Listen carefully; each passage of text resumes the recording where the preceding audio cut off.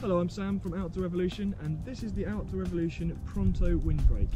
It's called Pronto for a reason, very very quick to put up.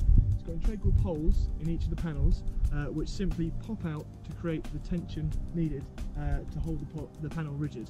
Uh, it comes with the upright poles too to slot in afterwards but the beauty of it is, as I say, very quick to put up and um, super stable once it is up. Made fabric, so really robust um, and heavy duty. It's also got a cable strip on each end so you can connect it into your caravan um, or on your channel if you'd like to.